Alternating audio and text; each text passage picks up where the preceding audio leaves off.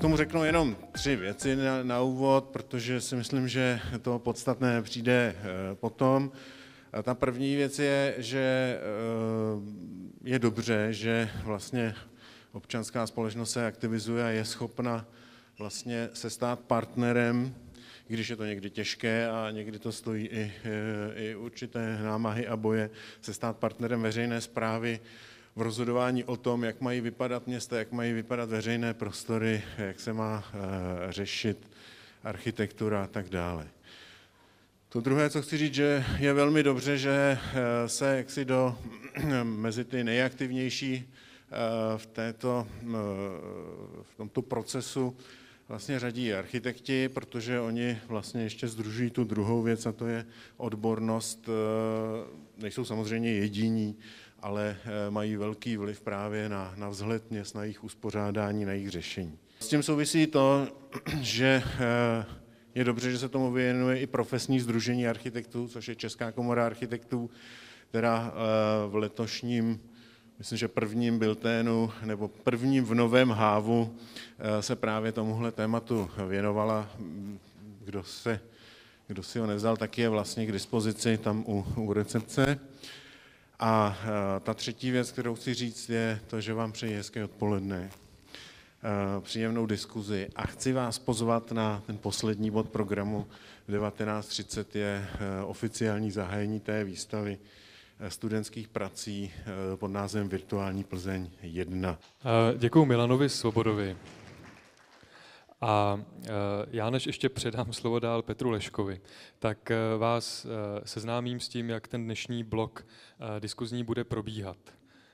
Jestli můžu poprosit o další slide, tak tady vidíte tři hlavní body, které uvidíme, zda se nám podaří dodržet, ale které by měly určovat vlastně základní tón nebo tematický obsah těch tří debat, protože eh, celé to odpoledne až do večera bude rozděleno právě do těchto tří bloků.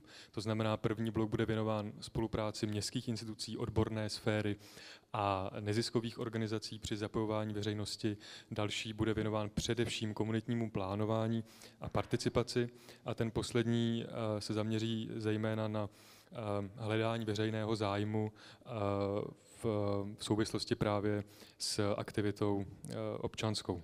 Děkuji vám, že jste přišli. Děkuji jak všem našim hostům z řad panelistů, kterých je asi 20. Já si toho moc vážím a určitě mluvím za celou naší společnost i za Českou komoru architektů. Vážím si toho, že jste sem přijeli na první mimo pražský otevřený think tank.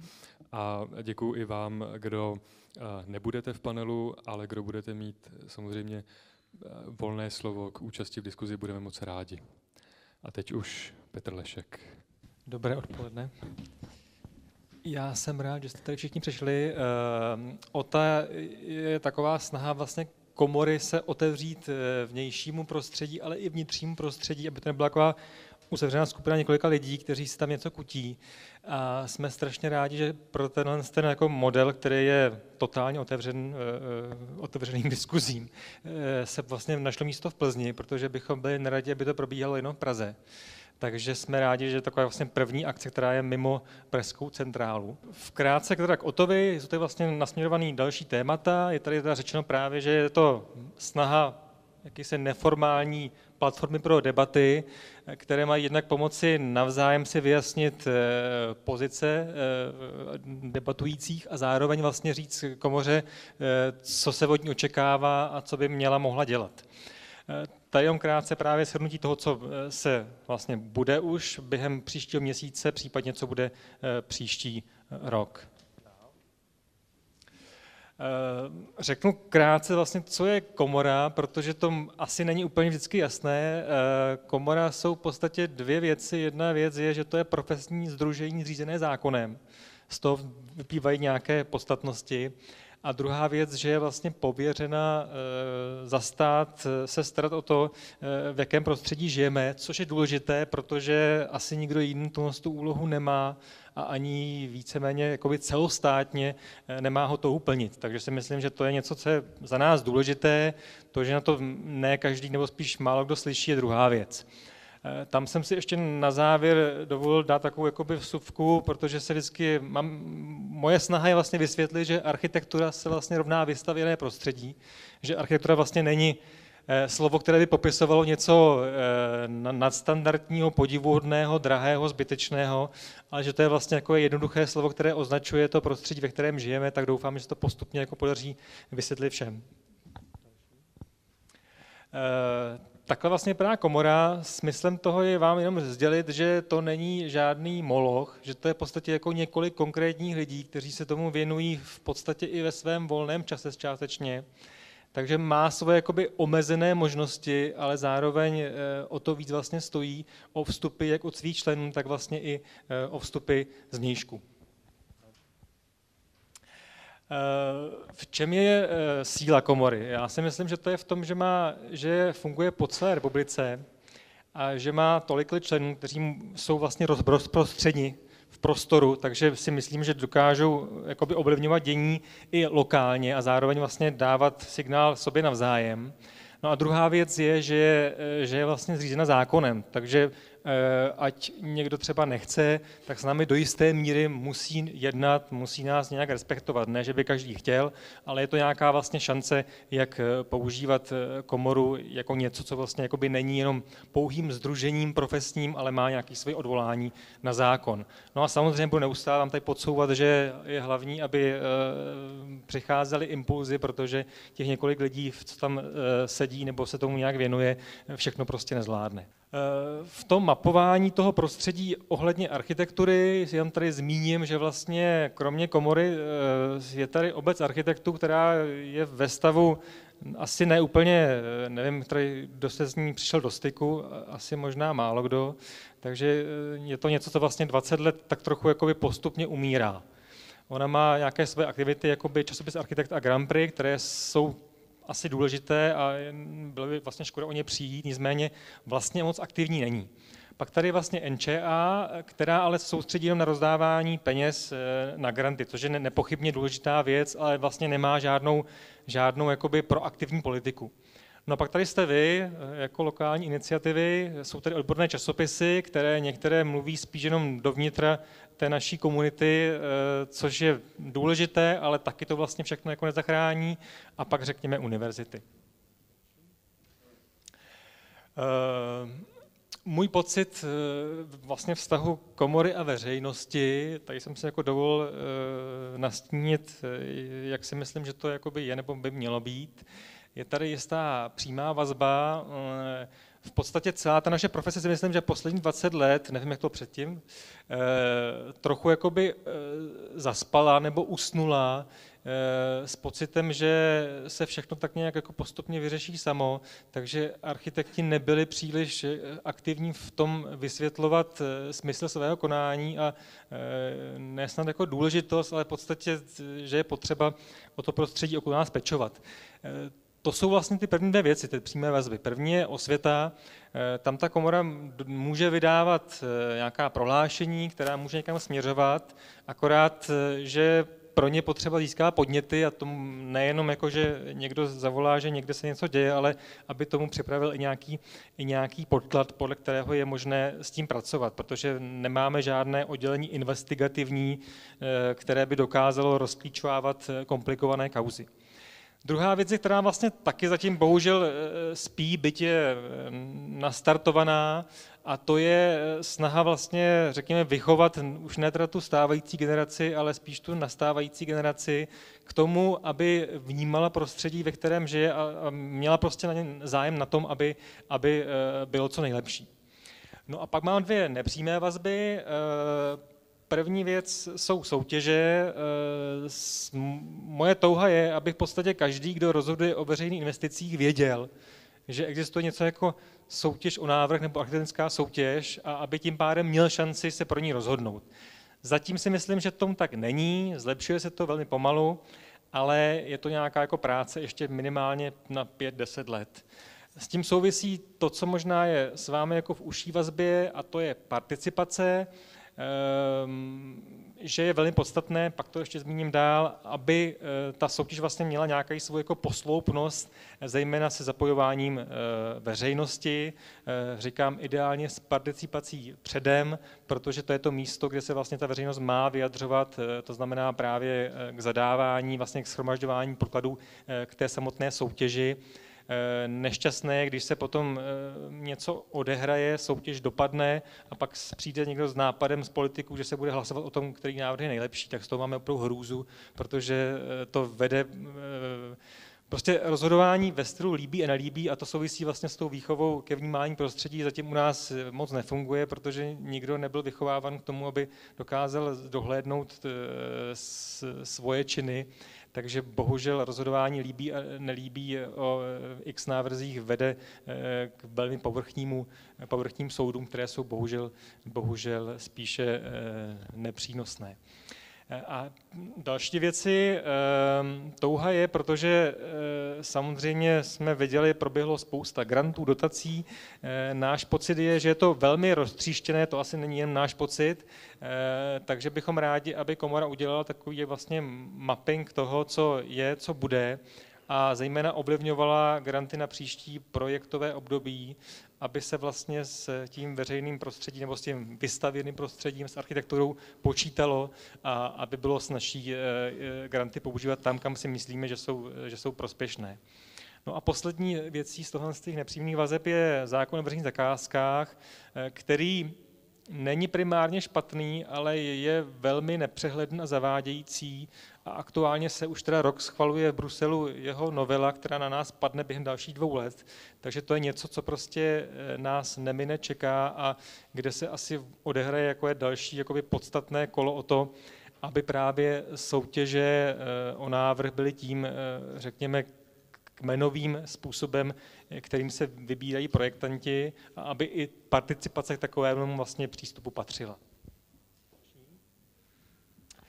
Eh, když se vlastně takový blížší fokus, tak tadyhle eh, mám dvě věci, které jsem chtěl vlastně vypíchnout. První je, že Petr Klápště eh, teď pro nás zpracoval materiál, se kterým bychom rádi vyrazili do prostoru. Asi tomu potom on řekne víc, ale smyslem je, že, že komora by měla nastavit, si myslím, jakási vlastně základní pravidla, aby se právě, eh, on tomu říká, každý vlastně hrál tu svoji roli tak, jak má. Eh, to znamená, jak ten neziskový sektor, jak ti, kteří se vlastně věnují primárně participacím, tak i architekti, abychom navzájem nedělali věci, které vlastně tomu výsledku škodí. Takže je potřeba vlastně si navzájem jakoby říct, kde je koho úloha a doufám, že na to získáme peníze a že, že vlastně nastavíme nějaký jakoby mustr, který by měl být, měl být eh, funkční, který by vám vlastně přinesl, uspořil mnoho práce. Eh, no a druhá věc, kvalitní příklady, proběhla soutěž pořádaná nadací proměny v Litomyšli na nábřeží a to je právě vlastně ten postup, který z mého pohledu vypadá ideálně, to znamená, že je rok na participaci, z které vypadne vlastně zadání pro soutěž eh, a s tím zadáním potom vlastně pracují architekti velmi volně, takže ten výstup je, je, souvisí intenzivně s tím, co se vlastně od nich požaduje, protože naprostá většina architektů že jo, eh, není sebestředných egomanů, ale naopak jsou si vědomí toho, že to, co navrhují, pro někoho je a má někomu sloužit. Za mě komora by měla být právě ani ne tak eh, někým, kdo, kdo je aktivistický nebo aktivní eh, ve smyslu, že neustále eh, něco někam vysílá, ale spíš tím jakoby rozcestníkem, který vlastně schromažďuje informace o tom, co se vlastně okolo architektury, okolo vystavěného prostředí odehrává. To je vlastně, si myslím, jakoby to podstatné, takže nechceme mnoho ani málo. A druhá věc je, že měli vlastně garantem odbornosti. To se trochu taky rozbíhá. Ono jde vlastně o to, že e, i ty veřejní zadavatelé by měli mít e, povědomí o tom, že se můžou na komodu obracet s tím, že jim prostě dává, dá zpětnou vazbu, že jim vysvětlí právě tu odbornou stránku. Protože vlastně pokud všechno řeší jenom právní kanceláře a právníci, tak bohužel, bohužel ta odbornost z toho mizí a všechno se vlastně odehrává jenom v tom rozhodování, jestli to je nebo není podle zákona a myslím si, že podle zákona ještě žádné jako pěkné prostředí, jenom podle zákona žádné pěkné prostředí ještě nevzniklo. Tady se rozloučím a ještě dám jednu věc a to je ještě lepší. E, pro aktivisty výzva k aktivitě. Když to shrnu, takže eh, komora je rozhodně otevřená a má zájem, abyste vlastně s ní komunikovali.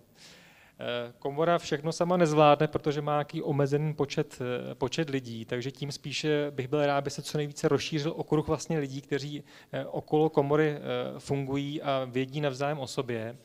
No a samozřejmě to, co jako všichni víme, že, že jsou to věci, které, které rozhodnou o tom, jak to bude vypadat na spoustu let dopředu. Děkuji za pozornost.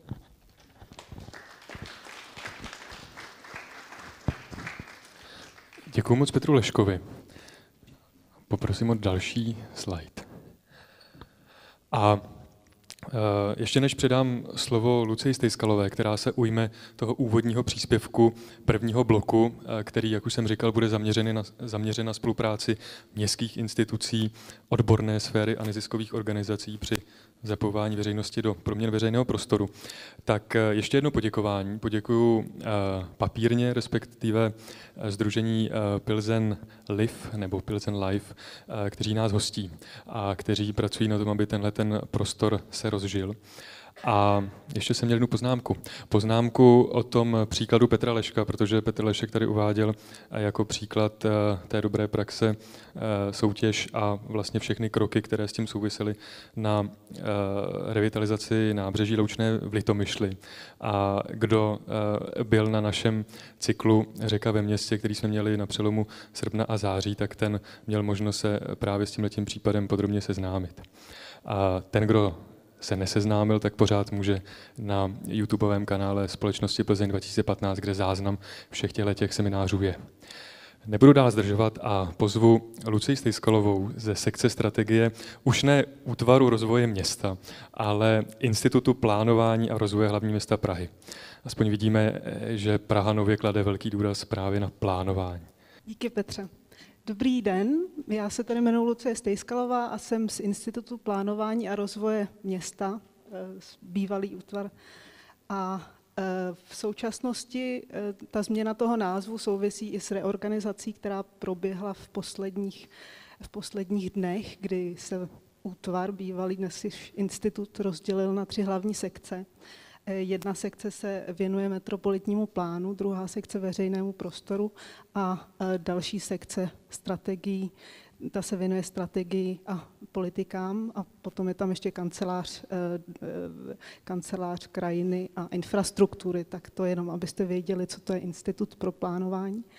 A já jsem tady dnes proto, že jsme v, v rámci kampaně Ladíme Prahu, což je náš projekt, který je zaměřený na participaci a na zapojování neziskového sektoru, na networking, na jeho propojování, tak jsme v průběhu srpna a září pořádali akci, akci Nábřeží žije. Možná jste o tom slyšeli. Byl se tam z vás možná někdo podívat? Skvělý, skvělý. Tak eh, snad se vám to líbilo, protože eh, popravdě řečeno to byla první akce podobného typu, kterou se nám povedlo uspořádat s iniciativou Automat, která se, eh, eh, která se prostoru Smetanova nábřeží a tomu, jak by se dal dopravně sklidnit, věnuje vlastně už od doby svého vzniku a už od 90. let je tahle ta agenda, přišel s ním jako první eh, primátor nebo exprimátor Jan Kassel, který se v současnosti taky podílí na aktualizaci strategického plánu, která právě probíhá na institutu. Takže eh, tady to téma, Smetanova nábřeží, sklidňování dopravy a iniciace veřejného prostoru v Praze je aktuální a já bych vám tady ráda v krátkosti představila, jak akce probíhala a co ve spolupráci s Automatem jsme tam připravili a na čem v současnosti pracujeme. Eh, hlavním tahákem, když to, když to řeknu eh, možná trošku nespisovně, celé akce byly panelové diskuse, které byly zaměřeny na různá témata. Další, prosím. A přišlo tam poměrně hodně lidí na to, že všech pět sobot, které, kdy byla uzavírka Smetanova nábřeží, nebylo vždycky dobré počasí, ačkoliv čtyřikrát se to povedlo, tak na tu poslední sobotu pršelo a přesto tam přišly stejné davy, jako vidíte tady na obrázku a vůbec nevadilo, že v tom místě projíždí tramvaj, všichni, všichni tam fungovali a nic se tam nestalo, akorát se to všem líbilo. Takže panelové diskuze probíhaly celkem v netradičním v netradiční podobě, protože jsme tam neměli žádný stánek, jako eh, v minulých letech. Eh, v minulých letech měl, měly jiné organizace eh, a bývá to zvykem, takže se nám podařilo vlastně díky tomu, že jsme ten chodník umístili co do největší blízkosti, nebo respektive židle a Eh, jak hosty, speakery, tak i publikum jsme umístili do co nejkratší vzdálenosti od sebe, tak se nám poměrně dobře povedlo vytvořit interakci mezi jedními a druhými. A to, co vidíte vzadu na panelu, tak je představení eh, mini výstava útvaru jeho kanceláří a tomu, eh, čemu se věnuje. Takže tady je pět témat panelových diskuzí.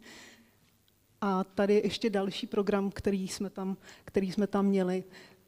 Byly tam urban walky, což byly urbanistické eh, procházky, eh, prezentace eh, projektů útvaru, což byl třeba Urban Heat Island, a, nebo prezentace geoportálu, což je mapová aplikace, ze které se můžete dozvědět spoustu zajímavých informací o Praze, potom projekt Ledíme Prahu a průzkumy života v lokalitě, kterými se zabývala Agora a který eh, probíhaly všech eh, pět sobot plus ještě ve všední dny. Potom součástí toho programu byl i Pragokres, kdy jsme se snažili pomocí, pomocí spolupráce s antropology zjistit, jakým způsobem si lidé, kteří akci navštívili, představují město, jak by mělo fungovat, v jakém prostoru by vlastně se chtěli pohybovat dlouhodobě, protože jedním z těch cílů tady té celé akce bylo vůbec iniciovat tu debatu o tom, jak by mohlo nábřeží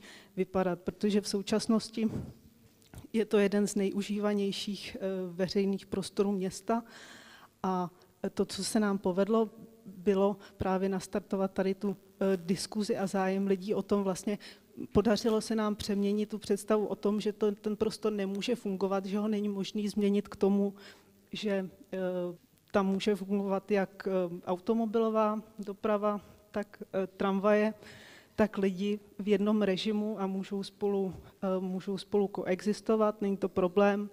A že ta důležitá věc je dlouhodobě tam podpořit rozvoj aktivit a iniciovat ten život v partneru, který tam v současnosti chybí. Samozřejmě tou druhou fází, která v tady té chvíli probíhá a o který se důrazně bavíme v institutu, je, jakým způsobem eh, tady ten proces posunout dál, jak, jak tu celou věc vylepšit, protože na příkladech třeba z New Yorku vidíme, že kdy tam proběhly transformace na Broadway, že nejdříve se vyplatí vyzkoušet předtím, než eh, zavádíme nějaký stavební zásahy, které jsou poměrně finančně náročné, vyzkoušet, jak to celé místo může fungovat. A tady to byl jeden vlastně z hlavních záměrů celé té akce. To byl náš program, každou, každou sobotu se měnil, ale byly tam poměrně pevné body. Ráda bych vám ukázala eh, fotky z akce pro ty, kdo jste tam nebyl.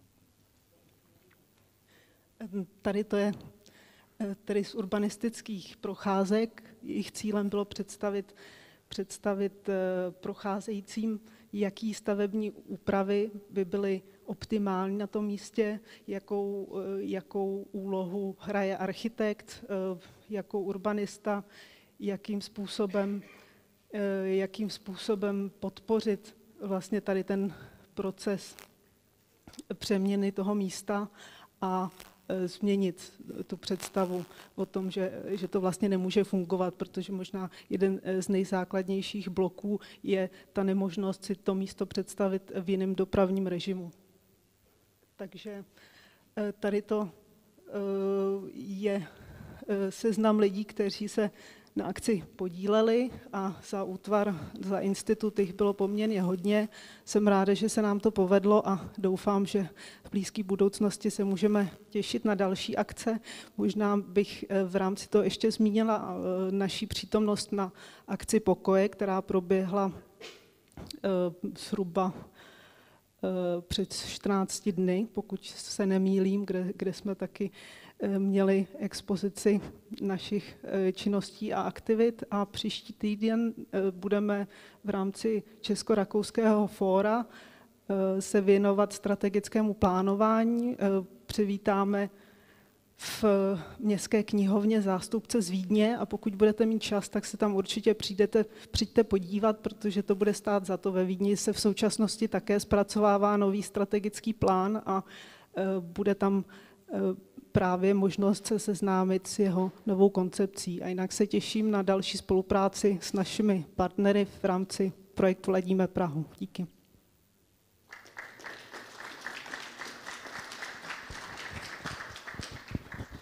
Já děkuji moc Luci Stejskalový a poprosím teďko vás, panelisty toho prvního bloku, eh, abyste se pomalu přesunuli na místa vpředu. Tak a já vám zatím hosty představím. Ještě jednou eh, je tady přivítám, ještě jednou jim poděkuju, že přijeli. A eh, abych je představil i vám, tak je to kromě Lucie Stejskalové z Institutu plánování a rozvoje, je to Vítek Masaré z Automatu, je to eh, Jakub Chuchlík eh, z iniciativy Plac, respektive platformy Plac z Jablonce, eh, Ondřej Teplý z Pardubic z Offcity, Jakub Mareš, místní iniciátor změn ve veřejném prostoru ze společnosti k světu. A je to samozřejmě Petr Lešek, kterýho bych pak poprosil, kdyby se k nám připojil. A samozřejmě je to Milan Svoboda z Plzně 2015 a zároveň taky ČKA. Pokud byste neznali aktivity, aktivity těch uh, iniciativ, združení nebo společností, uh, za které tito tato dáma a pánové vystupují, tak aktivity automatu asi znáte. Je to iniciativa, která už dlouhá léta vstupuje do veřejného eh, prostoru. Myslím, že to původní, ten původní akcent na eh, cyklistickou dopravu nebo alternativy automobilové dopravy byl dávno překonán a ta iniciativa se rozrostla do nebývalé šíře, stojí za, kromě těch projektů, které jsme viděli, třeba za projektem Zelená mapa, za projekty dalšími, ke kterým se doufám dostaneme. Činnost institutu, respektive té strategické sekce, to už jsme viděli, aktivity, eh, k aktivitám společnosti Plzeň 2015 se dostaneme. Já jenom k tomu podotknu, že právě role společnosti eh, podle našich představ by měla být eh, taková spojující, taková mediátorská. Rádi bychom byli mostem právě mezi veřejnou zprávou a mezi těmi občanskými iniciativami a vůbec občanskou společností. Off-City je aktivita, kterou asi řada z vás eh, zná, eh, občanské združení, které se zabývá osvětou, co se týče architektury a veřejného prostoru, především v Pardubicích. K světu je místní občanské združení, eh, které iniciovalo a zorganizovalo s podporou Plzně 2015 festival Kontejnery k světu. Jakub Mareš a jeho kolegové stojí i za místní Peča Kučou, za projektem Parking Day a řadou dalších aktivit a plac a Jakub Chuchlík. Eh, plac je eh, poměrně čerstvě eh, zorganizovaná nebo založená platforma, nicméně můžete Jakuba znát jako iniciátora, organizátora městských zásahů v Jablonci společně s jeho ženou Idou Chuchlíkovou. Stojí taky za za dalšími, za dalšími projekty, ke, ke kterým se doufám dostaneme. Abych už déle sám nemluvil, tak já se přesunu mezi ně a pokusím se eh, vykopnout eh, tu debatu. Eh, mě by zajímalo, a budu tu otázku směřovat asi především v tenhle okamžik na Luci a na Vítka, jestli ten projekt, který jsme viděli, Nábřeží žije, jestli je to modelový případ, který je závislý na nějaké vstřícnosti, otevřenosti veřejné zprávy, a nebo jestli by bylo možné postupovat jinak. Respektive potom bych tu otázku rozšířil uh, ještě dál, uh, jak postupovat v případě, pokud budeme tou občanskou iniciativou, pokud se nesetkáme třeba s tak otevřeným přístupem, jako tomu bylo v případě tehdy ještě útvaru rozvoje města. Tak, dobrý den, já se jmenuji Vítek Masare a začnu teda uh, asi rovnou uh, odzadu uh, tou uh, otázkou, jak postupovat, pokud nenarazíme na vstřícnost útvaru rozvoje města, který se pak přemění na Institut plánování a rozvoje. Uh, jak si tady Petře říkal na začátku, tak automat už dávno jako přesáhnul svoje původní zaměření, to znamená adaptovat se na stávající podmínky. Automat vstupuje dlouhá léta do veřejného prostoru a vstupuje do nimi dveřmi, oknem, komínem a kudy to jde. Takže pokud nenajdeme vstřícnost k nějaké myšlence, kterou považujeme za rozumnou, tak eh, hledejme jinde, eh, hledejme s jinými partnery ve veřejné sféře, eh, která se zabývá rozvojem veřejných prostranství. Je těch aktérů neskutečná řada. Můžou to být aktéři institucionální, můžou to být aktéři v podobě jednotlivců, různá zájmová združení, můžou to být aktéři zahraniční a tak dále. A prostě můžeme vytvářet větší a větší koalice lidí, kteří stupňují ten zájem o nějaké společné řešení problému. A v jeden moment eh, vlastně dosáhneme té takzvané critical mass, eh, kritického množství eh, lidí, kteří už přeci jen se buď sami třeba dostanou i do těch pozic, kde můžou potom tomu projektu dát zelenou, anebo vlastně ta jejich váha bude pro jejich potenciální partnery natolik důležitá, že, že s nimi začnou nějakým způsobem pracovat. Takže tak, ne, nevzdávat se a rozšiřovat množství lidí, kteří vlastně na těch daných projektech chtějí spolupracovat, protože pokud ty projekty dávají smysl a, a, a dejme tomu, to množství zapojených lidí bude růst, tak eh, pokud funguje demokracie, tak se nějakým způsobem dostaneme k řešení. Takže jestli to chápu správně, tak pokud uh, ten tlak z dola bude uh, tak silný, že už mu vlastně nepůjde vzdorovat, tak pak se teda věci budou měnit, pak se bude tlak z dola může eh, přerůst v podporu z hora, z prostřed a tak dále. Díky. Možná můžu ještě k tomu něco, něco říct, možná k té podpoře z hora. Protože e, součástí toho, proč se e, celá ta akce podařila, je, že my se snažíme dlouhodobě právě nastartovat ten dialog s různými partnery, protože z hlediska plánování města je důležité nejen to propojování v tom vertikálním směru, to znamená s Prahou, komunikace s městskými části v rámci středočeského kraje a Evropy, kdy eh, třeba v poslední době bylo podepsáno memorandum o spolupráci se středočeským krajem a my se snažíme eh, budovat eh, dál tu společenskou základnu pro, pro to, abych se nám povedlo řešit právě problémy, které, které se zdají neřešitelné. A to je i příklad toho Smetanova nábřeží, že vlastně díky tomu, že my se i v té, i v té horizontální linii snažíme propojovat se a nastartovat ten dialog, vlastně učit se tomu dialogu s dalšími partnery, jako jsou třeba neziskové instituce, tak eh, i v rámci toho projektu Ladíme Prahu se nám právě daří zatím naštěstí to, že eh, i ty naši, ti naši partneři mohou přijít s některými myšlenkami, které eh, my máme možnost rozvíjet dál způsobem, který třeba automat nemůže a můžeme se navzájem podporovat v některých aktivitách. Já bych tomu ještě dodal jednu krátkou věc, jenom pro ilustraci. Lucie, ty jsi na útvaru vlastně teďka tak zhruba půl roku, cca. Útvar rozvoje města se k tomu projektu nábřeží, že vlastně přihlásil, dejme tomu v únoru.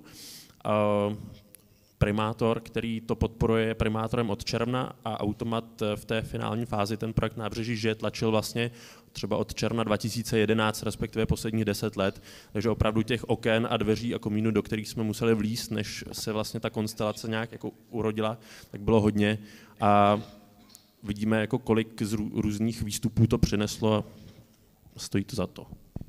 Já se ještě zeptám um, asi vás obou. Uh, předpokládáte, že uh, tahle iniciativa, ta série těch kulturních společenských akcí, která se odehrála na Smetanově nábřeží, povede v budoucnu, aniž budeme definovat ten horizont, k nějakým fyzickým změnám toho veřejného prostoru nebo změnám trvalým, eh, co se týče jeho užívání? Je, je to cílem té iniciativy nebo jedním z těch cílů? Ten výsledek, já, já bych možná na to zareagovala eh, eh, poukázání na jeden projekt Lakaton Vasal, kanceláře s, eh, z Bordeaux, myslím, že to bylo, ale nevím úplně, jestli je to v téhle souvislosti ale eh, aktuálně, ale eh, tím výsledkem nemusí být eh, v podstatě fyzický zásah. Toto je teda aspoň ten příklad, o kterém jsem chtěla mluvit, kdy tihle dva francouzští architekti úplně změnili určitý prostor jenom díky tomu, že se začal uklízet, když to v podstatě trošku zbanalizu, ale jde o to, a to si myslím, že je důležité zmínit u toho nábřeží, nejdřív vůbec tu debatu začít, pak se začít o tom bavit, co by se tam mohlo dít, eh, zapojit do toho co nejširší spektrum lidí.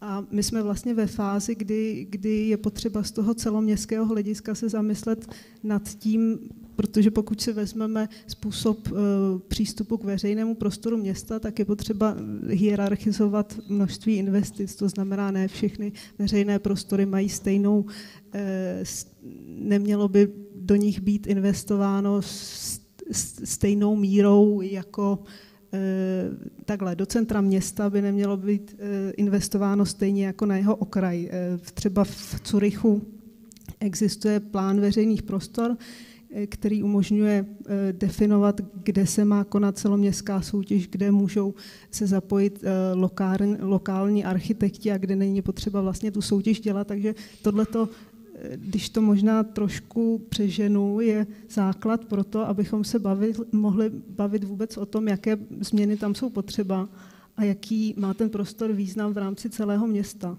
To je začátek diskuze v podstatě. Chápu. Eh, to znamená, cíl není přesně určen, je to krok jedna, který povede ke krokům dalším a my přesně nevíme, eh, kde ten proces, kudy bude a kde, kde skončí, pokud skončí protože v současnosti mm, vzniká manuál veřejného prostoru v kanceláři eh, Pavly Melkové a zároveň i koncepce pražských náplavek, takže ten projekt je součástí většího celku.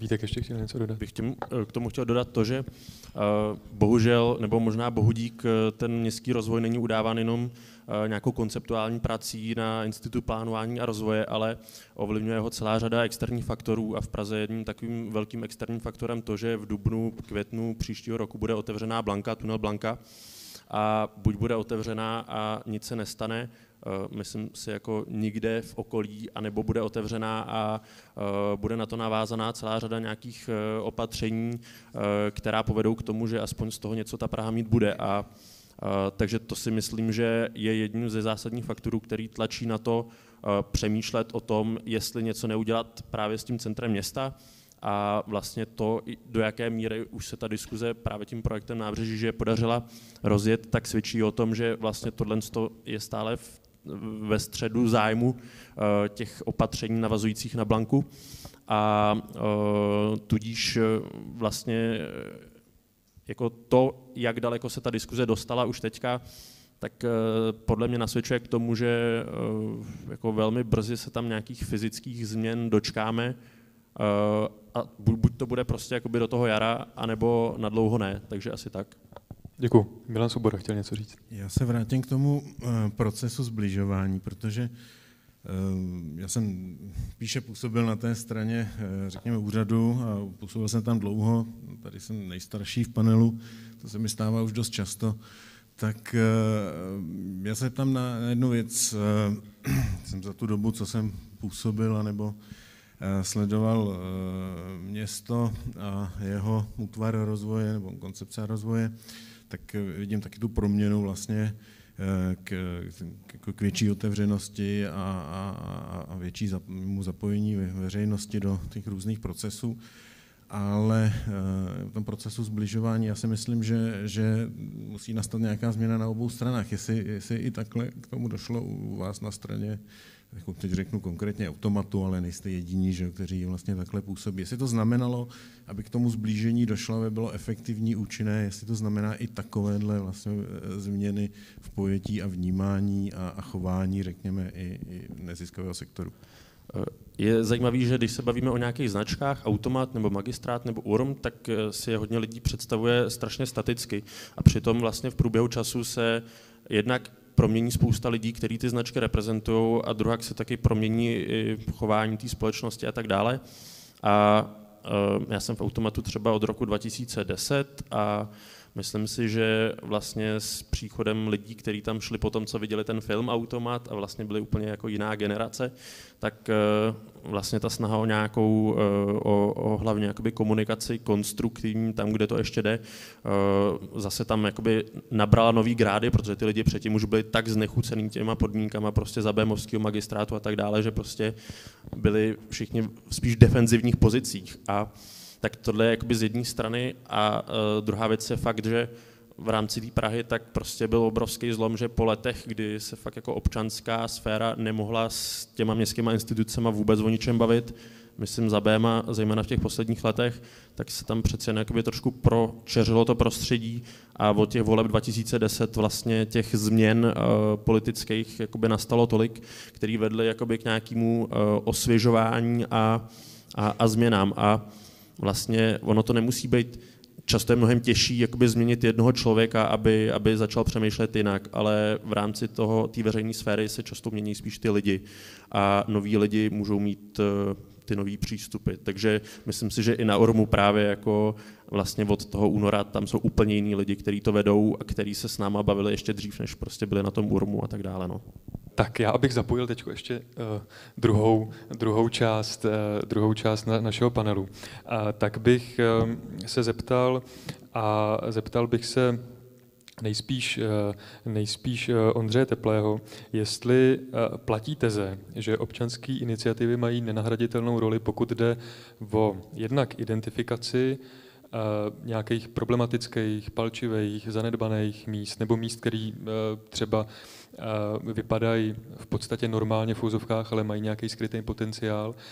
Jestli v tomhle tom můžou mít ty iniciativy, ať už za nimi stojí architekti nebo ne, roli e, jakýchsi ukazatelů nebo motorů, který podnítí změny, které se v tom místě odehrajou. Jestli v tomhle tom můžou vlastně pomoct té veřejné zprávě, která třeba na tohle nemá kapacitu. No, tak já ti děkuji za moc hezkou otázku. Eh, já vlastně, ta občan, já, já můžu asi vlastně mluvit hodně za sebe, kdy jsme startovali projekt Off City a snažili jsme vlastně popisovat město eh, tak, jak ho máme my a vnímáme, protože eh, terminologie územních plánů, barevných ploch prostě nedokáže postihnout to, co vnímáme jako to pozitivní. Myslím si, že jsme měli skoro, bych řekl, tu ambici dát tu další level do té do, do barevnosti a ono to rozrostlo tak, že jsme začali diskutovat o architektuře, o veřejném prostoru, pak jsme začali dělat uh, různé festivaly, uh, workshopy a zapojovali vlastně a vtahovali k sobě, uh, nechci říkat veřejnost, ale ty lidi, co to zajímá. A v tom si myslím, že je jakoby důležitý, že ty iniciativy jakýkoliv vznikají, protože pak se člověk necítí sám, zjistí, že, že, nějak, že, že podobných jako nadšenců nebo lidí, co vnímají nějak ten prostor uh, a není mlhostejný, tak jich je jako dost. A, a to si myslím, že pak tvoří jakousi hybnou sílu. Hlavně, co si myslím, že je zajímavé, že mnohé iniciativy, aspoň u nás v Pardubicích to bylo tak, že uh, měli takovou tu negativní nálepku, že jsou to ty, co házejí vidle do těch projektů. A myslím si, že je důležitý jako tohleto mýtizování jako dát pryč, že, to jsou ta, že ta aktivita může být ve skrze pozitivní. A přijde mně, že to, je, že to by mělo být to důležitý. Opak se samozřejmě ten, to vedení toho města, ten úřad dokáže taky jako jinak k těm aktivitám jako stavět. Takže to je asi tak. Setkali jste se s, jako off-city s tím, že by se třeba na vás eh, ta veřejná, veřejná zpráva obrátila s eh, nějakou eh, konzultací nebo s tím, že by chtěli znát váš názor na nějaké místo, problém?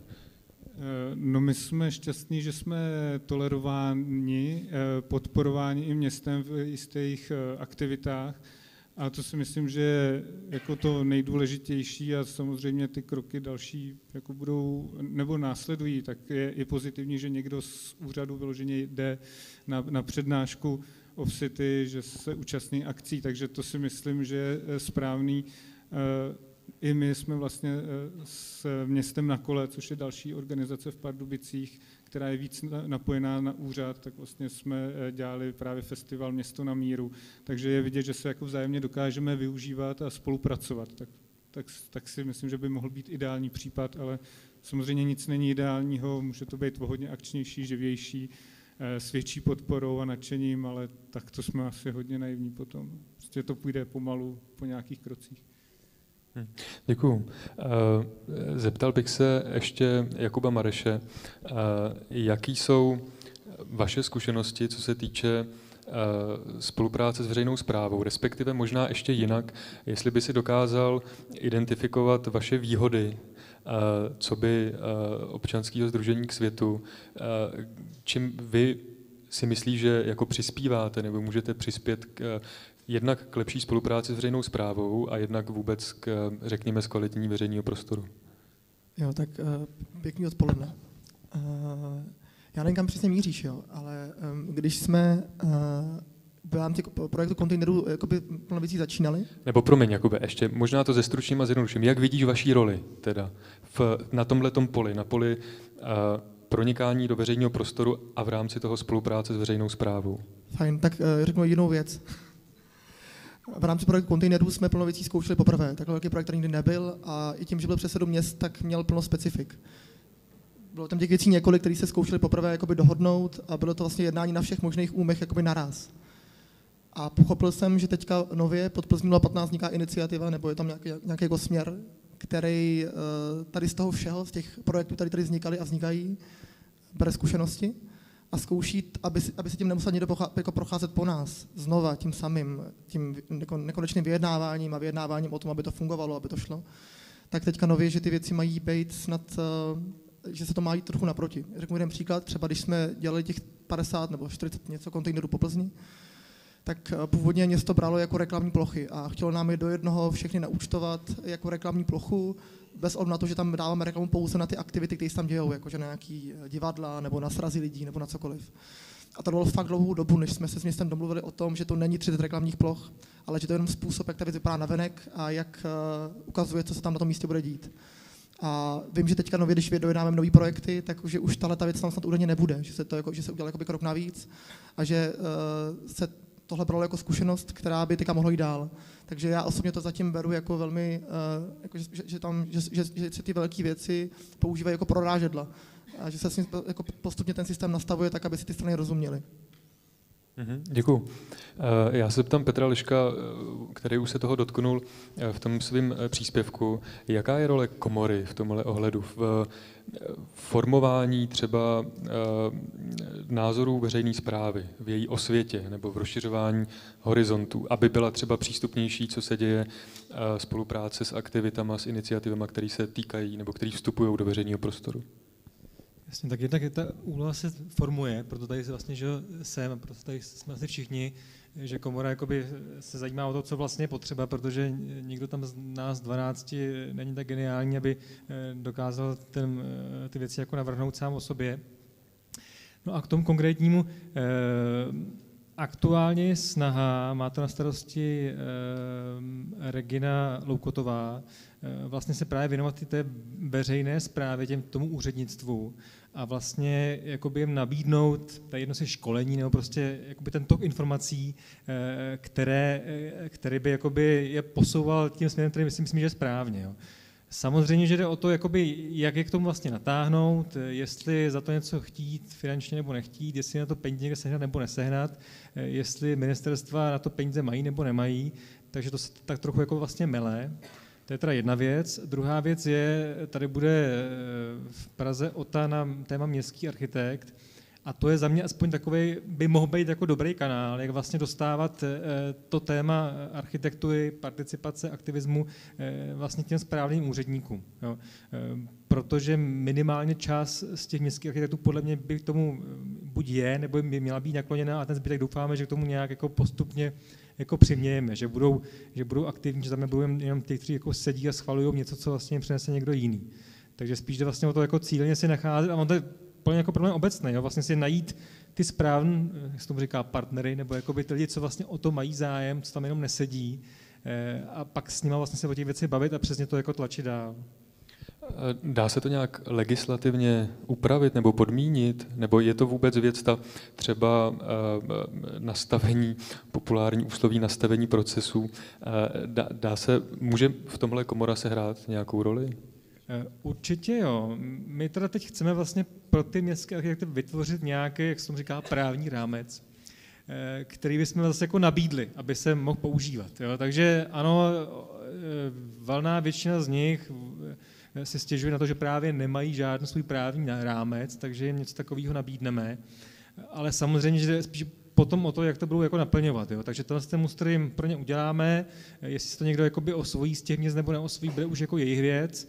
Eh, asi úplně vytvářet nějaký jakoby, vy, e, přísný jako zákony nebo něco jakoby vymáhat se, se mi moc nechce. Jo. Spíš bych to tlačil vlastně buď přes ministerstvo nebo vlastně přes ty města, aby oni sami eh, navzájem jako příkladem si mohli jít a říkali si, že to jakoby k něčemu je smysluplný a, a vhodný. Dobře, děkuji. Uh, tak a teď bych dal slovo vám, jestli máte nějakou otázku, protože já už mám jednu otázku v záloze. Teda. Uh, kdybyste ji neměli, já bych se zeptal paní ředitelky Ostracký z útvaru koncepce a rozvoje města Plzně.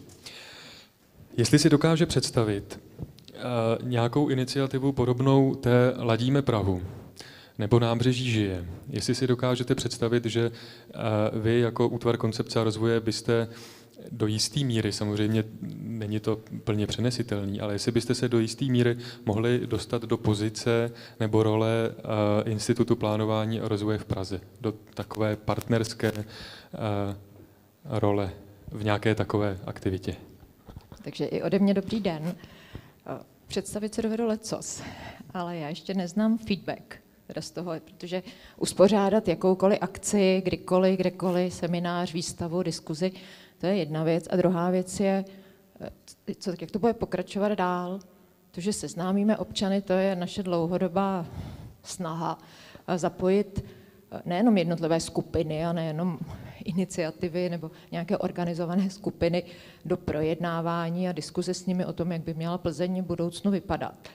Ale jak veřejnost zapojit, to znamená, neřekne určitě ne všechny lidi z města, to asi není reálný, ale daleko víc obyvatel ve městě, aby se zajímali o město, zajímalo se, co se teda bude ve městě skutečně dít, protože většinou se lidi probudí až ve chvíli, když se skutečně už začne něco stavět nebo realizovat, a začnou diskutovat, pak začnou vznikat různá občanská združení, protesty a začneme se, že o tom nevěděli, že s tím nikdo neseznámil. Přestože využíváme řadu kanálů, ať jsou to radniční listy, webové stránky, eh, in, informace, ale je to o vytvoření nějakého možná i místa, kde bychom mohli pravidelně představovat projekty, vystavovat prostě pravidelné galerie, výstavní síně, nebo nevím, kde by tyto projekty byly představovány dlouhodobě a kde by třeba pravidelně byly pořádány nějaké prezentace, diskuse třeba každý měsíc, nebo to, kdyby mohli, kdo by měl zájem k tomu přijít. Takže určitě takováhle možnost je. Co se týká nábřeží, my jsme tady o trochu dopředu, protože máme revitalizace plzeňských nábřeží zpracovaný vlastně pro všechny řeky. Eh, ten projekt je připraven, ale podobně asi to, co zaznělo, jedna věc je mít připraven projekt, mít připraven, jak by to na nábřežích mohlo vypadat a druhá věc je, kdy se začne postupně ten projekt naplňovat, kdy se začne přeměňovat v to, jak by to vypadat mělo. Protože my jsme se třeba teď, minulý měsíc, nebo vlastně při 14 dní na zastupitelstvu setkali s tím, že ve chvíli, kdy jsme na jednom nábřeží navrhli změnit jednu část na sportovně rekreační zónu, tak jsme se setkali s, víceméně s odporem i místních obyvatel. Ne s tím, že by jim vadil ten vlastní projekt, ale proč se dělá eh, projekt revitalizace nějakého nábřeží, změny nějaké louky na nějaké koupaliště a úpravu a nějaké lavičky a podobně, když oni nemají kanalizaci. Je to zase takový ty úpravy toho veřejného prostoru a toho místního žití těch, to, co se tam prostě v tom území děje. Takže ne všechny bohulibé projekty, nebo to, co by se, jak by se nám líbilo a chtěli bychom, aby vypadalo, co kde, tak najednou narazíte na úplně tu místní komunitu a začíná narazíte na to, že vlastně oni by to třeba chtěli jinak. Přesně se s tím potkáváme pře revitalizace sídlišť, úpravy jednotlivých vnitrobloků. Ne vždy se to, co navrhne architekt, se potká s tím, co chtějí místní obyvatele. Přišli jsme, já mnohokrát už jsem opakovala, možná jste to ode mě slyšeli, když jsme v jednom vnitrobloku navrhovalo hřiště, kteří by využívali handicapovaní. Naprostý odpor obyvatel. A přitom tam měli chodit na to hřiště dvakrát týdně. Pardon, můžu vám toho vstoupit jenom, protože zrovna po tohle příkladu bychom se mohli odpíchnout. Eh, dokážete si představit řadu věcí, tak dokážete si představit, že byste třeba vy jako úkr oslovili nějakou uh, občanskou iniciativu, aby vám třeba pomohla uh, ve spolupráci s tou místní komunitou, třeba k tomu, aby, abyste je společně přesvědčili, že to je to správné místo pro to, pro to hřiště a že oni sami z toho budou mít užitek. Určitě. Eh, my, když jsme třeba projednávali revitalizace sídliš na severním předměstí, tak jsme oslovili tady místní neziskovky, aby vlastně dělali facilitátora s tím, protože se vždycky domníváme, že je lepší, pokud někdo, že to není byť nejsme klasický úřad, ale že pokud je tam někdo jako třetí strana, pokud se tam vystupuje, tak je to vždycky příznivější. Dobře, děkuji. Tak, uh, Sláva. Marku Ida, Ida Kajzrová, socioložka, se přihlásila o slovo. Mně se hrozně líbí ten výraz třetí strana. A možná už je to demode, jo, ale e, mně tam chybí prostě nějaký aktér v té spolupráci. Městských institucí odborné sféry a neziskových organizací. Tak čtvrtá strana. E, já jsem byla jednou na nějakém projednávání, který se týkalo, který se týkalo obchodního centra Korzo. A tam byla jedna strana obchodní korzo, druhá strana e, město a třetí strana byla ta veřejnost, ta seděla v tom sále. Tak a, a to nebyly symetricky tři strany vzdálené stejně od sebe, jo? To bylo to zajímavé. I když to tak asi jako plánovaný bylo, že tam každý hájí jakoby ty svoje zájmy. To město hájí zákonnost toho procesu, Eh, Korzo hájí to, aby se postavilo a veřejnost tam hájelo a já nevím, prostě maximální uchování veřejnosti toho prostoru, který se měl zastavit. Třeba takhle to budu definovat. Ale jak to probíhalo, jak to bylo nastavené, jaký měla parametry ta situace, tak se ukazovalo, že eh, to město hájí to obchodní centrum před tou veřejností. Ale neřekli to tam jako a my jsme tady teď s tím obchodním centrem a budeme tady spolu proti vám, abyste si náhodou neškrtli ani, jo. A to, to, to si myslím, uh, že byl velice podstatný moment celé té situace, že to je velice podstatný moment naší sociální současnosti, skuteč, zkušeno, sku, skutečnosti, pardon. A já to tam necítím v tom, co vy si tady povídáte. Tak já nevím, jestli už jako uh, už je to jinak, jestli už moda jako se přehnala, už se tohle to neřeší. Prostě ten vstup toho soukromého sektoru, té sféry, prostě to aktérství eh, toho tahu na ten zisk v tom veřejném prostoru, prostě ten veřejný prostor je, je jakoby naleziště drahýho, drahýho zdroje. Jo. To, to prostě takhle funguje. Eh, a my prostě tancujeme kolem toho všichni.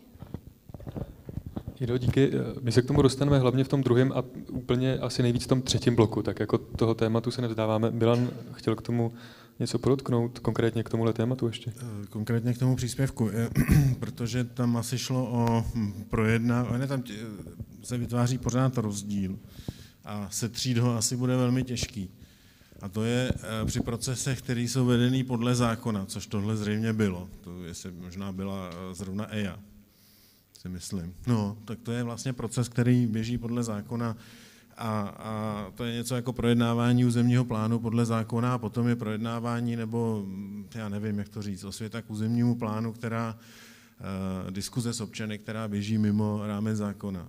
A tam je opravdu stále rozdíl a s tím se prostě něco musí stát. Jo? A tam si myslím, že třeba i zrovna komora by měla uh, v tom, co říkal Petr Lešek, nějak uplatnit svoji, svoji roli.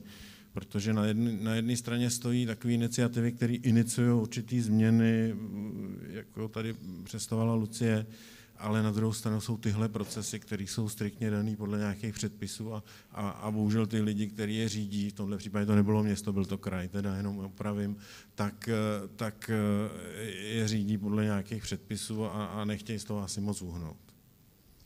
Možná můžu Petře navázat, Určitě. protože já bych jenom chtěla doplnit, že v určitý fázi toho procesu je potřeba zapojit, nebo je dobrý zapojit i nepřímý nástroje a zkoumat vlastně potenciál akcí ve veřejném prostoru, že to nemusí být jenom jeden dům, nemusí to být dlouhodobá výstava, ale můžou to být jiný formáty, které je potřeba zkoumat a přistupovat tomu inovativním způsobem. A to, co je důležité, je vlastně vytvořit tu platformu pro ten dialog, který je dlouhodobější, protože inovace nevzniká takže se sejde eh, parta lidí, kteří mají stejný názor, ale že se naopak sejdou lidi, kteří mají eh, odlišný názory, nemusí je mít diametrálně, i když to může být občas produktivní a vedou dialog, který má ale určitý mantinely.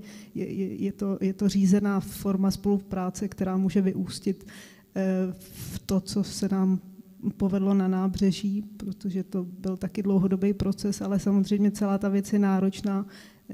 Ten úspěch nemusí být jednoznačný a nábřeží má taky svoje odpůrce samozřejmě. Díky. Vítek ještě? Eh, já jsem chtěl ještě dodat to, že eh, pokud se budeme spolehat na eh, aktuálně fungující nástroje, nějaký, řekněme, veřejný diskuze, na tož pak legální, tak to budeme čekat asi do smrti na, na zázrak. A pokud se nám něco nelíbí, tak hledejme ty jiné jako formy a vymýšlejme nové jiné formy. A v rámci demokraticky fungující společnosti, tak pokud vám, máte dojem, že politici hájí soukromý zájem, tak ale politici jsou zároveň, řekněme, nějakým způsobem ehm, řekněme, závislí na eh, tom, jestli někdo příště zvolí nebo nezvolí, eh, takže se dají eh, používat jako úplně různé formy Eh, vlastně vystupování v tom veřejném prostoru a třeba, že to referendum je taky jedno z nich. A jako pokud eh, máme pocit, že jeden nástroj nefunguje, tak eh, ho buď změníme sami, anebo použijeme jiný nástroj a nemá cenu jakoby si stěžovat na to, že ten nástroj nefunguje, protože ostatní ho asi sami od sebe nezmění. Hmm, děkuji. Jenom poukážu na to, že zrovna tomuhle tématu se tady budeme věnovat v tom třetím bloku. Tak, další otázky. Eh, pokud je nemáte, tak já se zeptám ještě Jakuba Chuchlíka, eh, aby mu to nebylo líto, nebo on sám chce něco říct možná? No, mě napadlo, že jsem ještě nebyl na nic tázán, tak něco řeknu.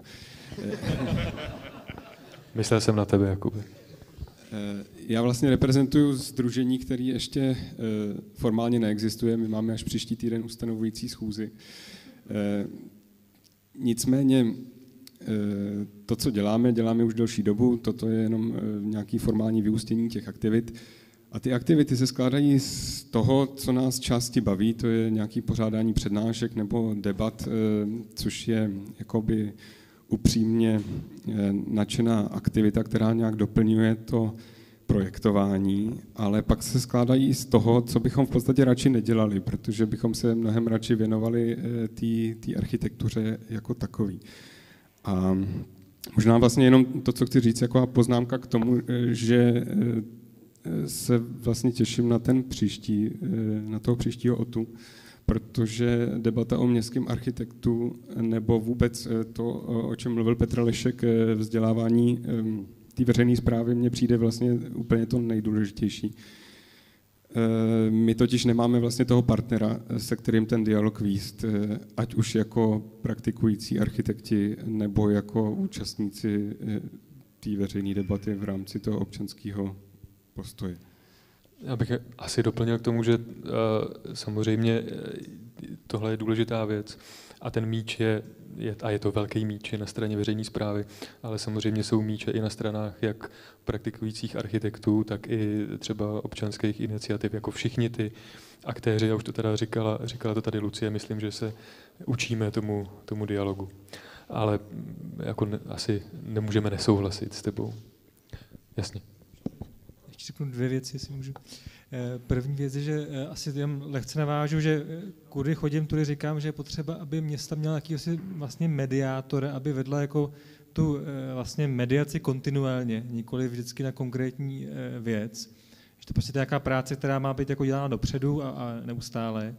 A druhá věc, to je vlastně jako spíš tam na Luci Stejskalovou, že bych byl rád, kdyby vlastně třeba vlastně Praha konkrétně, ale i jiná města, pokud jako s něčím přijdou, něco jakoby najdou, tak aby to taky byli schopni předat dál.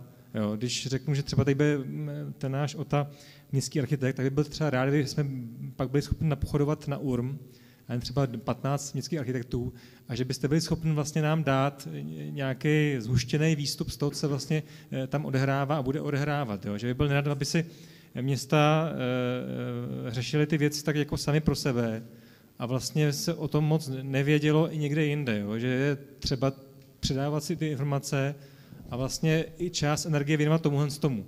Abyste neupadli jen do stavu, kdy, kdy se jakoby zahloubáváte a řešíte si konkrétní místo, konkrétní náměstí a vlastně si neuvědomujete, že vlastně spoustu těch věcí byste mohli taky někomu jiným pomoct, nebo naopak by mohl pomoct on vám. Naše, naše práce má dvě polohy. Ta jedna je networking a ta vlastně spočívá v propojování různých aktérů ve městě a v tom kontinuálním vedení toho dialogu a ta druhá věc je informování a s tím souvisí. Eh, možná bych teď asi předbíhala mm, program uh, IPRu, ale rozhodně tady to bude součást našich strategií informovat dál o tom, co, co děláme a jakým způsobem by mohla naše zkušenost být převeditelná i do jiných českých měst. Já ještě na to navážu jednou věcí. Pokud všechno dobře dopadne a vývoj ve společnosti Plzeň 2015 bude pokračovat nastaveným trendem, tak my máme v plánu vytvořit jakousi platformu která by byla jaksi poměrně univerzální a poměrně široká a týkala by se veřejnoprostorových aktivit, opravdu v tom eh, širokém slova smyslu, a byla by vlastně jakýmsi prostorem pro informování a případné sdílení zkušeností a, a výměnu názoru a tak dále. Čili to je vlastně věc, kterou bychom chtěli v příštím roce, letos už to fakt asi nestihneme, v příštím roce eh, rozjet. Já vidím na Markovi, že chce něco říct. Já bych měl otázku na Petra Leška. My, když jsme uh, vlastně mezi sebou uh, na poli Plzně 2015 debatovali o dnešním odpoledni a večeru.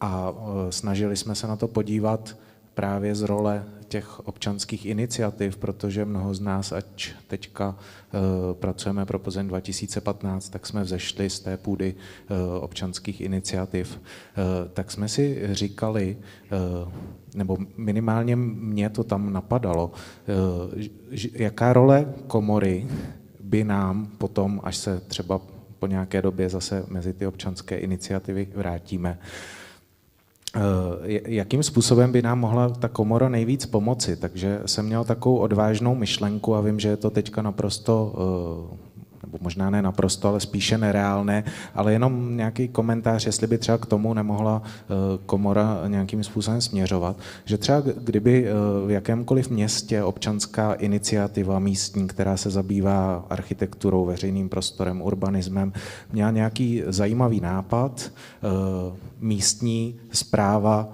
by s tím, by ten nápad za tak zajímavý nepovažovala, to znamená, že by tam začal vznikat nějaký, nějaký problém, nějaká vášnivá diskuze, tak jestli eh, v té chvíli by ta eh, místní iniciativa mohla poslat tento nápad komoře, komora by se na to podívala, dala by na to nějaký štempl, toto je výborný nápad. A ta místní iniciativa by měla jako o to silnější pozici. To samozřejmě možný je. Takže to můžeme čekat. No, já jsem říkal, vlastně my o to stojíme, Jediné, co prosím, je, aby, aby ten návrh nebyl ve smyslu, chceme tady z 50 stromů, co s tím máme dělat. Ale aby to bylo něco, s čím se dá rychle pracovat, protože neumíme jako investigativně rozkrývat eh, lokální situaci v každém městě České republiky. Jo, takže očekáváme, že, že pokud se od nás něco chce, tak jako je to aspoň trochu připraven, abychom, abychom věděli, s, s čím vlastně souhlasíme a co podporujeme. Ještě se hlásí Petr Klápše, poprosím jenom tímto uzavřeme už ten blok.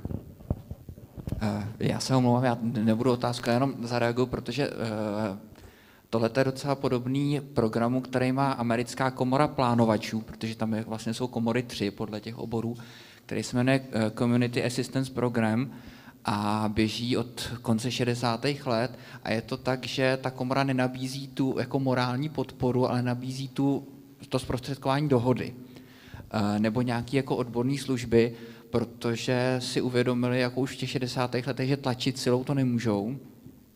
A potom si uvědomili za nějakou dobu ještě to, že od určitý úrovně za to budou chtít zaplatit, protože jinak by se zbláznili. Takže, takže ta uh, úroveň jakoby té první konzultace, té první pomoci i nějaký jakoby znalostní báze na webu, která pomáhá třeba, tak uh, tady je a potom je tam pak nějaká úroveň, že už za to i něco chtějí, no, tak to je možná taky inspirace pro komoru, že to má mít určitou úroveň, aby to pomohlo a potom, abyste se z toho zase nezbláznili.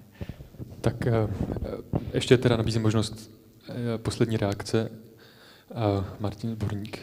Já ještě bych na to navázal. Fakticky takováhle iniciativa už, už existuje v České republice. Je združená pod ekologickým právním servisem bývalým Frank Bold dneska a ty mají takzvaný projekt Občan 2.0, kde je združeno asi 40 nebo 50 dneska lokálních iniciativ, které sdílejí svůj Eh, své vlastní fórum, na kterém jisté nápady nebo podněty fungují a má to ten právní support eh, právě z toho ekologického právního servisu, takže věci týkající se práva nebo řešení těchto věcí se tam velice intenzivně uh, sdílejí navzájem a ten přesah předávání těch informací mezi jednotlivými organizacemi už tam funguje. Takže to dávám spíš jako podnět, že by se to dalo propojit i, i na úroveň České komory architektů. Děkujeme.